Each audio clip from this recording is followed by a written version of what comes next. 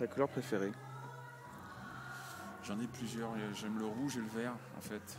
Et euh, ça dépend des moments. J'aime le bleu aussi. mais, mais le vert, ouais, le vert, j'aime beaucoup. Et puis, euh, et puis le rouge, surtout les dernières années, j'aime beaucoup le rouge parce que c'est la couleur de la victoire, quoi. Ça arrache bien. Et puis, euh, voilà. quoi. J'aime toujours bien, le voir, bien voir une belle moto rouge ou une belle caisse rouge. et Le rouge chinois ça- Le Le rouge chinois Euh, plutôt le rouge, euh, le rouge diabolique, on va dire, le rouge vraiment qui, qui pète. Quoi.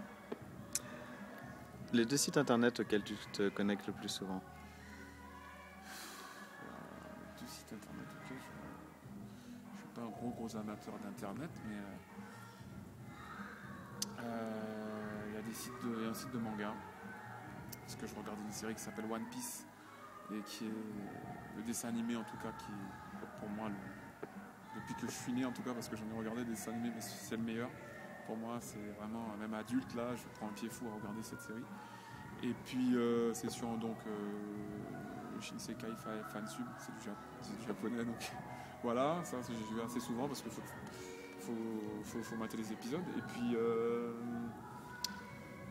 voilà mon site internet euh, pour voir euh, mes mails Sinon, après les sites internet, là, ma, ma fédération, bah, j'allais beaucoup sur Facebook, mais bon, là, euh, c'est plus trop le cas. J'ai fermé un peu ma session pour, euh, pour reconstruire quelque chose de nouveau parce que ça partait dans tous les sens. Et là, Donc, actuellement, euh, tu as combien de contacts dessus? J'en avais beaucoup trop. Après les championnats du monde, ça a dégénéré. Donc j'ai fermé ma session pour je vais refaire une autre quelque chose de bien cadré, de bien propre pour tout le monde. Quoi. Ça sera mieux comme ça. Et Ton- puis euh, le site de ma fédé, voilà, de temps en temps la FIE aussi pour regarder les classements mondiaux, des choses comme ça. Et puis shopping quoi. Ton ou ta meilleure amie dans le sport? Ma meilleure amie, c'est mon frère. C'est mon frère, en tout cas, euh, en premier, parce que c'est le sport véhicule euh, beaucoup de valeurs. Et, et moi, la valeur euh, la plus forte que j'ai rencontrée, c'est finalement la sincérité. Euh, la sincérité, la confiance. La confiance dans quelqu'un, c'est c'est quelque chose d'énorme. Et, et, euh, ça, je le partage avec lui. Et c'est pour moi de. euh, Il y, a- il y a une forme d'amour aussi, hein, l'amour, une grosse, grosse amitié. Et c'est avec lui que, en tout cas, que, que je suis là aujourd'hui, que j'ai tous ces résultats. C'est, grâce à lui. Il est là à mes débuts, il est là aujourd'hui et je sais qu'il sera toujours là pour, pour me soutenir. Ski ou snowboard? Ski ou snowboard? Euh, Pour le moment, ski parce que j'hésite à faire une initiation snowboard, mais j'ai envie de la faire, mais je sens que ça va me prendre quelques jours et je, je risque de prendre quelques gamelles et de ne pas profiter comme, euh, comme je devrais, mais je sais qu'un jour je, je vais me, lancer. Ton point faible? Mon point faible. euh, Aujourd'hui, je le cherche. hein. Je, je rigole. Je pense que j'en ai plusieurs, mais aujourd'hui, j'ai réussi à les gommer les uns après les autres. Je crois que point faible, en fait, euh, je vais juste dire que j'essaie de muscler mes points forts. Et mes points faibles, en fait, je sais pas que je les oublie, mais ils finissent par ne plus exister, en fait. Ne plus exister parce que je n'ai plus à, à rentrer, on va dire, euh, un rapport avec eux. C'est ça. Parce que, voilà, j'ai plus. euh, je fais ce que j'ai à faire aujourd'hui et je suis quelqu'un aujourd'hui qui me remet très très vite en question. Et ça, c'est une grosse force, donc j'ai pas le temps de cogiter sur, euh, sur euh, mes faiblesses. Quoi.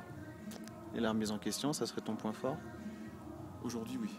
La remise en question, euh, la relativisation, si on peut dire ça, je sais pas comment on dit.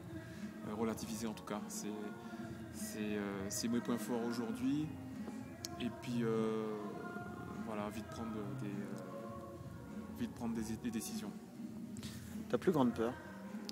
Plus grande peur. J'ai- peur de, certaines choses. Euh, ma plus grande peur, ce serait euh, de voir certaines choses qui n'existent pas. euh, ma famille, par exemple. De voir que des choses disparaissent autour de moi sans que je comprenne. Moi, je pense que de voir les choses s'effondrer autour de soi, je pense que c'est qu'on des, gens proches, avoir peur de perdre ces gens-là. Voilà, je pense que ça, c'est très très important. Et puis, un peu la peur de, de l'inconnu, de ne pas savoir où on va. Ça, c'est assez flippant. ouais. Ton pire souvenir? Les JO de Pékin. Je crois que c'est les JO de Pékin, ça passe même avant la montée de l'Alpe d'Huez et la randonnée de cet après-midi. les JO de Pékin. C'est les JO de Pékin, mais, mais je n'oublie pas que ça a été un moment fort et riche en émotions, euh, très dur, euh, franchement, intérieurement. Mais qui t'a Euh, construit?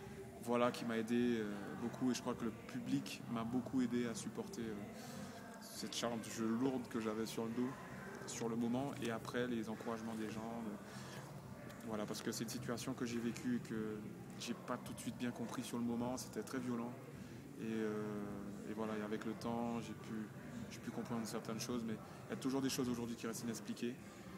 Et le CIO voilà, n'est pas perfectible en tout cas, il y a des choses à améliorer euh, pour éviter de tels, euh, de tels débordements, de telles euh, catastrophes. quoi.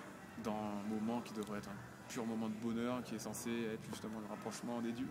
Jusqu'au contrôle antidopage que tu évoquais, que tu fais alors que euh, on te refuse de monter sur le podium, Exactement. quoi. Ça, je me dis avec du recul, euh, je comprends pourquoi j'avais la rage. Je comprends franchement aujourd'hui, puisque le contre- ce contrôle antidopage, je l'ai fait. Mais en même temps, j'avais jamais vu le médecin de l'équipe de France dans, dans- dans cet état. Parce qu'il y a, il y a eu vraiment de- il y a des choses que les gens ne savent pas parce qu'ils n'étaient pas en coulisses. Mais il s'est passé beaucoup de choses en coulisses parce que c'était pas normal ce qui s'était passé. Et euh, ça, ça rendait encore plus difficile la, la chose euh, à vivre. Mais, euh, mais aujourd'hui, c'est vrai que je relativise beaucoup plus avec, avec me- ma famille, mon cocon familial, euh, mon fils, euh, ma femme. euh. Ces choses-là sont très importantes dans la vie. c'est, ça construit un homme, comme, comme on peut dire. Euh, le métier que euh, tu rêvais de faire quand tu étais petit ou que tu pourrais faire euh, en reconversion derrière? Je- quand j'étais petit, je voulais être vétérinaire parce que j'adorais, j'ai toujours eu des bêtes, enfin des bêtes, des animaux petits, j'ai tout eu, j'ai eu des moutons, des poules. J'habitais à la campagne donc euh, j'aimais beaucoup ce, ce, rapport à soigner quand la bête était malade ou à accompagner. Enfin voilà, j'étais assez proche. euh, c'est des moments inoubliables et euh, voilà, je, voulais être vétérinaire, m'occuper des, des animaux. Et puis bon, ça m'a vite, ça, ça changé parce que voilà, la vie fait que voilà, on se dirige autrement. Sinon, aussi à une autre période, j'ai voulu être architecte. Ça non plus, j'ai pas, pas continué parce qu'il y a eu aussi l'escrime qui m'a, un peu envahi. Mais euh, ma reconversion, euh, ce serait l'idéal, ce serait dans, dans l'organisation d'événements. Franchement, ça serait dans mon sport toujours créer des, événements internationaux avec euh, des stars que j'ai connues dans mon sport et des, des rencontres, pas forcément en- entre individuels, ou- mais euh, en mélangeant toutes les stars, faire des trucs un peu comme euh, euh, des All-Star Games, des trucs pour l'escrime, voilà, des trucs comme ça, avec beaucoup d'ambiance, un public de fou, folie, et puis, voilà, ça c'est le rêve. Bon, après, je peux me mettre aussi dans le mouvement sportif, toujours dans le domaine du sport. J'aime beaucoup le sport, et quel que soit le sport, hein, ça peut être le tennis, euh, l'athlé, je suis beaucoup le sport en général. Il y a beaucoup de sports que j'aurais aimé faire. Le football passe en premier, mais il y en a d'autres.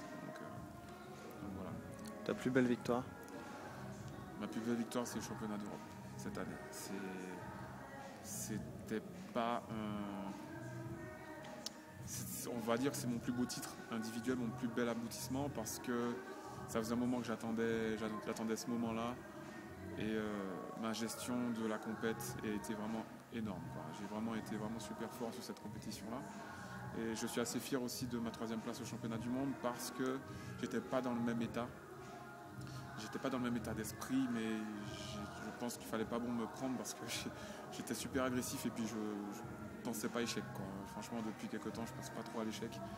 Donc, euh, mais j'étais dans un autre état d'esprit, mon jeu était différent.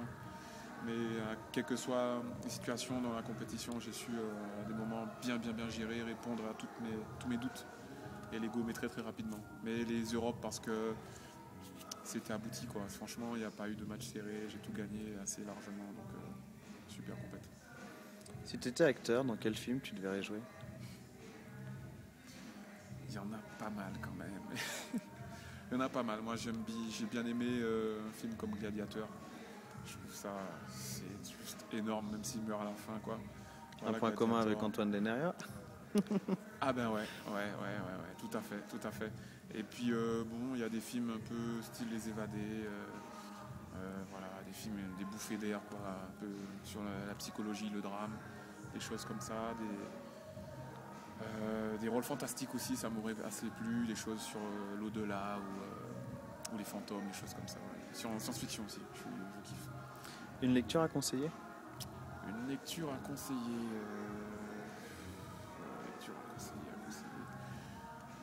Il y a un bouquin, enfin j'ai vu le film d'abord, mais il y a un bouquin qui, qui, m'a plu beaucoup, c'est au début d'année dernière, c'était La Route. Euh, voilà, The Road. J'ai trouvé ça assez tripant dans un, monde sans espoir en fait. Essayer de chercher l'espoir dans un monde sans espoir, c'était énorme. Et puis là, ce que vivent les deux personnages, c'est vraiment énorme. C'est énorme, c'est des choses euh, qu'on ne voit pas tous les jours et qui peuvent arriver à mon avis je conseille ça à tout le monde. Ça peut faire relativiser dans le monde dans lequel on vit, en tout cas. À quelle heure te couches-tu en moyenne? On va dire qu'avant, je me couchais euh, assez tard, mais depuis que j'ai mon fils Gabriel, ben voilà, euh, exactement comme toi. Donc, euh, je ne sais pas s'ils sont tous comme ça, mais j'ai besoin de récup.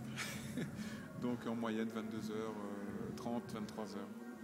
C'est on va dire que mes yeux commencent à me brûler euh, sévèrement à ces, euh, ces heures-là. Ta spécialité culinaire?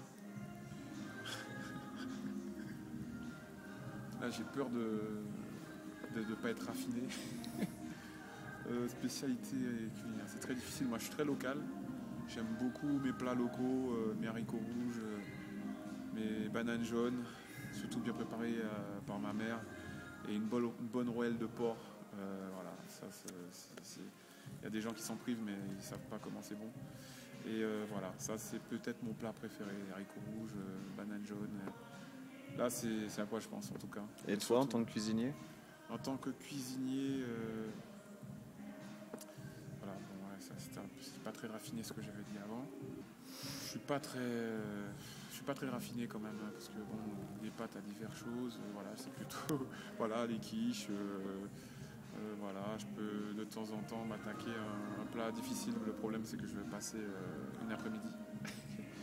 voilà. Euh, sinon, voilà, j'ai pas vraiment d'idée en tête là parce que il faut que je revoie la recette et que je me rappelle déjà du nom de, ce que j'avais fait. Donc voilà, j'ai pas, voilà, on va dire des pâtes, à toutes sortes de pâtes en préparation, avec des petites touches originales de ma part. Et puis des quiches toujours avec euh, des, produits, euh, des épices, des épices un peu qui n'ont pas l'habitude d'être là, de rien faire là, donc euh, voilà. Michael Jackson? Ouais, c'est le numéro 1. Pour moi, c'est toute mon enfance et franchement, c'est pas souvent qu'un décès, on va dire, dans la musique me touche autant c'est pour moi le, roi, il a, partagé mon enfance avec tous ses albums. Là, il représente tellement, c'est vraiment impressionnant. Je trouve même pas les mots, c'est même affectueux, hein, c'est un truc de fou. Je pense ce, ce, genre de, gars, j'espère même pas avoir envie de l'approcher. Tellement c'est fort ce qu'on peut ressentir, tellement il est fort dans ce qu'il fait, c'est un génie. Quoi. Franchement, il est trop trop fort. Maintenant, il n'est plus là et euh, j'oublierai jamais en tout cas. J'ai tous ses albums, j'écoute tout le temps, ça m'accompagne dans toutes mes compètes. Mais il y a aussi, euh, voilà, il y a d'autres artistes aussi, comme Ennio Morricone. Il, y a des, artistes que j'aime beaucoup, je trouve qu'ils sont trop forts et, ça, m'inspire même euh, dans, ce que je fais tous les jours.